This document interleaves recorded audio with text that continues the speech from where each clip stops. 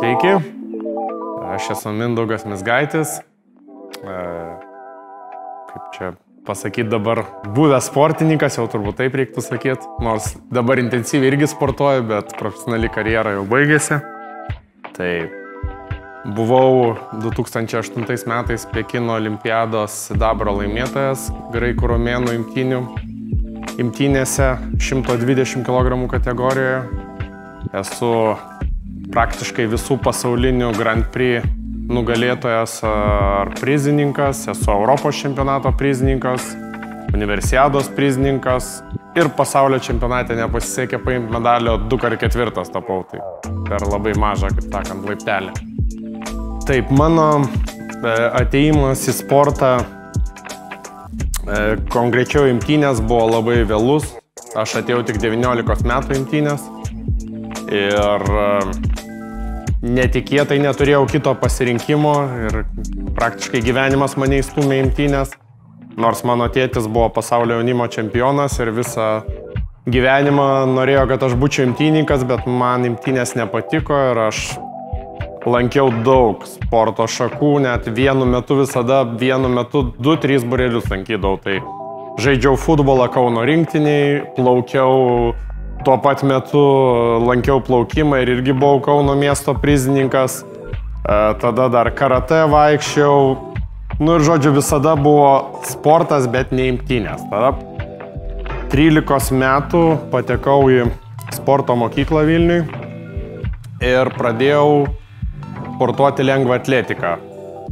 E, rutulio stumimas ir disko metimas. Man buvo rungtis ir Gal per man viskas pavykdavo labai greitai, kaip nekeista. Tai per pusę metų aš tapau Lietuvos čempionu savo amžiaus grupėje. Ir pasinėriau lengvą atletiką. Tai buvo mano labai mėgau šitą sporto šaką, labai dėjau daug vilčių. Ir e, augo rezultatai. E, jau 13 metų, 14 metų buvau iki, iki 20 metų e, Lietuvos čempionas. Tai buvo tikrai toks gan įspūdingas rezultatas. Ir 11 klasiai pra, pra, prasidėjo man riešos skausmai ir kuo toliau to jie vis didėjo. Ir teko, operuoti, teko daryti man pirmą operaciją. Pirmą, kodėl sakau, nes aš jų turėjau labai daug, po to papasakosiu apie jas. Tai man persodino iš dubens e, e į, į riešą kauliukus ten biški tokius, nu, žodžiu tvarkė daktarai. Tai po operacijos, man atrodo, praėjo pusę metų, jau buvau, jau perėjau 12 klasę. Nu ir vis bandžiau tą rutulį stumdyti, bet skausmas buvo nepakeliamas ir mano svajonė buvo visada tapti dideliu sportininku. Ir žodžiu, 12 klasėje aš buvau Lietuvos čempionas, turėjau, atsirink, turėjau normatyvą į pasaulio jaunimo čempionatą lengvos atletikos ir aš nebegaliu dalyvauti. Nu ir ką, teko tada eiti į tėvo sporto šaką ir buvo toks susitarimas. Tie, sakau tėvui, jeigu pasitreniruoju mėnesį ir išlošiu Lietuvos jaunimo čempionatą, pereinu imtynės. Nu ir kažkaip pasisekė man išlošti tą Lietuvos čempionatą ir perėjau imtynės. Imtynėse man tas riešas taip nebuvo, nebuvo toks skausmingas kaip lengvojo atletikoje. Ir po biški perėjau imtynės. Taip Matote, perėjo imtynės 12 klasiai, kas, kas atrodytų, kad tai nėra šansų praktiškai kažką pasiekti. Ir jau po keturių metų aš buvau olimpinėse žaidynėse. Taip kad nuo to galima pradėti, kad viskas įmanoma, reikia tik norėti. Ir aišku, va, tos traumos čia, kaip kalb, dabar tema mūsų motivacija. Aš turbūt buvau vienas iš daugiausia traumatizuotų sportininkų Lietuvoje. Pas mane yra 12 operacijų padaryta ir jos tikrai didelės. Ir ten, kaip pas Arvidas Sabonė, abu du achilai plyšė ir kelieniai ir abu du pečiai plyšė, nu žodžiu, traumos ant traumų. E, gal to pasieka, kad aš buvau lengvatletis ir perėjau imtynės, tai buvo sprokstama sporto šaka ir ištvermės ir gal dėl to man tas kūnas nespėjo persiorientuoti imtynės ir gal dėl to buvo daug traumų. Tai vad po kiekvienos iš tų traumų buvo tikrai sunkiau, kai buvo stuburo išvarža ir achilo plyšęs vienu metu, aš pusantrų metų lovai pragulėjau ir tikrai apie sportus jau nebuvo kalbos, buvau laidojimas, visiškai laidojimas, žodžiu, jau ten gulėjau lovoje ir čiut neašarodavau kasdien, bet kažkas viduj, nu galvoju, nu negali tai būti, kad viskas to ir baigsis. Ir e, atsitikti, toks gavosi atsitiktinumas, kadangi buvau lengvatletis, pažinau Virgilio Alekną, sutikau Kaune Alekną prie manėžo ir sakau, kaip tu tą nugarą tvarkai, sako, ateik pas mano tą trenerį Zigmuką. Nu ir mane sulopė per dvi savaitės, ką aš pusantro mėnesio gydžiu. Ir e, sakau, Zigmukui, sakau, kada aš galiu pradėti sportuoti, sakau, po pusę metų galėsiu, jisai žiūri mane, sako, tu, tu jau turėjai sportuoti. Tai vad, pirmas toks buvo po didelių traumų grįžimas e, ir po kažkur nepilnų metų aš tapau pasaulio ketvirtas ir atsirinkau olimpiadą. Tai vad nuo to laiko aš pradėjau nekreipdėmėsi į jokias kalbas, į jokias traumas, viską galima susitvarkyti ir po to buvo daug dar traumų ir man kažkaip būdavo gyvenime įvyksta kažkokia trauma, aš kažkaip užsidarau, pradedu dar daugiau treniruotis, kitas kūno dalis, susikaupiu labiau, tampu protingesnis, grįžtu po traumų ir vėl didžiulis rezultatas. Ir va, tokiom va, bangom eidavau visada. Ir jau net kai kurie daktarai juokdavosi, sako, jeigu kažkas atsitinka, sako, paklausimas gaičio, kiek trunka reabilitacija. Tai man vienas, viena buvo e, trukus krūtinė sausgislė, tai tikrai gan rimta trauma, tai aš po dviejų su pusę metų, mėnesio jau kovojau Bundeslygoje ir laimėjau, ne tik, kad kovojau, bet laimėjau. Taip kad nieko nėra neįmanomo, absoliučiai. Klausai savo kūno, sieki ir viskas gaunas. Čia toks iš mano sporto, uh, sporto traumų ir rehabilitacijų, kaip būdavo, kai tikrai kelis kartus buvo, kad jau tipo viskas baigėsi, bet pasirodo tai tik būdavo kelio, didžiojo kelio pra, pradžia. Dar vienas iš mano, turbūt, nu ne, ne turbūt, o didžiausio laimėjimo ir tai buvo pirmas Lietuvos imtynių istorijoje olimpinis medalis. Tai buvo 26 metai, kurie man visiškai nesisekė. Turėjau kažkokią mikrotraumą tradiciškai, bet aš jau tokius ten, kai menisko operacijas, tai nekreipdavau dėmesio. Čia būdavo kai danties traukimas ir tai būdavo net, kaip sakant, savaitės polisis, viskas, kol siūlus ištraukti. Tai, nu, visiškai nesisekė viskas. E, nuvažiuoju varžybas, atrodo stipresnis, pralošiu, nuvažiuoju kitur, pralošiu ir, nu, visiškai atrodo ir viską darau ir, nu, nesiseka nors tu ką.